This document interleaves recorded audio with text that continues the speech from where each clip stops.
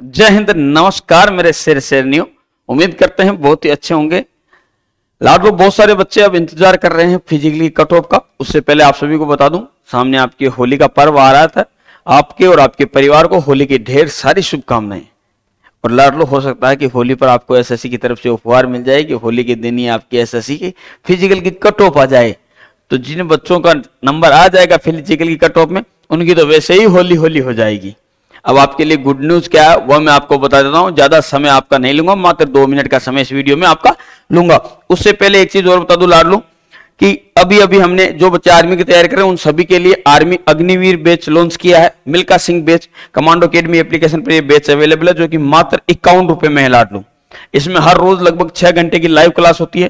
Class notes आपको provide होते हैं, और हर रोज रात नौ बजे एक लाइव डाउट सॉल्यूशन क्लास चलती है। यानी बेच बहुत ही शानदार बेच है, अगर आप आर्मी की तैयारी कर रहे हैं। ये बेच कल ही आरंभ हुआ, यानी एक तारीख से ही शुरू हुआ है तो अभी आप इसको ज्वाइन कर सकते हैं लाडू अब गुड न्यूज़ क्या है, मैं आपको बताता हूँ, जैसे इस बेस में भी हमने घोषणा की है कि जो भी हमारे मिल्का सिंह बेस से पढ़कर बच्चा नंबर लेके आएगा फ़िज़िकल के लिए आर्मी के लिए तो उसकी फ़िज़िकल बिल्कुल फ्री कराई जाएगी फ़िज़िकल और मेडिकल ये भी घोषणा आज ही हमने की है, मैं आपको बता देता हूँ, जो भी बच्चा हमारे मिल्का सिंह बेस से पढ़कर और नंबर लेके आएगा अच्छे, यानी कहने का मतलब जो फ़िज़िकल रैली में जाएगा, उसका फ़िज़िकल बिल्कुल फ्री मेडिकल बिल्कुल फ्री मात्र इक्यावन रुपए में। ये घोषणा भी आज ही की है। अगर आप आर्मी की तैयारी करना चाहते हैं, अगर आप हमारे साथ तैयारी करते हैं और आप क्वालिफाई हो जाते हैं, उसके बाद में आप अकेडमी आ सकते हो। बिल्कुल फ्री निःशुल्क तैयारी आपकी फ़िज़िकल की और मेडिकल जाँच भी बिल्कुल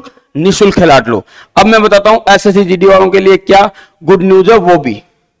पहले तो आपके मन में ये आ रहा होगा कि सर फ़िज़िकल की कट ऑफ़ कब आएगी? पहले क्वेश्चन ये बता दो। तो मैं आपको बता दूँ, अब ज़्यादा समय नहीं लगेगा। सात से दस दिन का आप टारगेट समय मान के चलिए। इन दिन के अंदर अंदर आपकी फ़िज़िकल की कट ऑफ़ आ जाएगी। तो ये तो आपका मन का जो वहम है वो निकाल लीजिए। इसके आसपास आपको फिजिकली कट ऑफ़ आ जाएगी। अप्रैल के महीने से आपके फ़िज़िकल शुरू हो जाएँगे।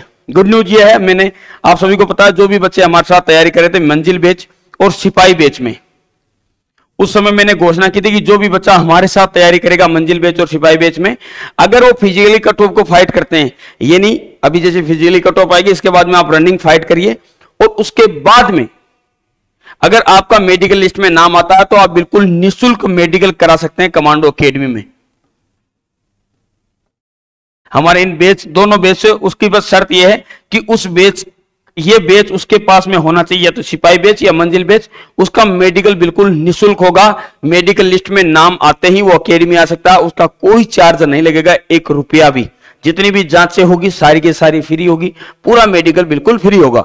वैसे आप सभी को बता दूँ, मेडिकल बेच अभी चल रहा है अकेडमी में।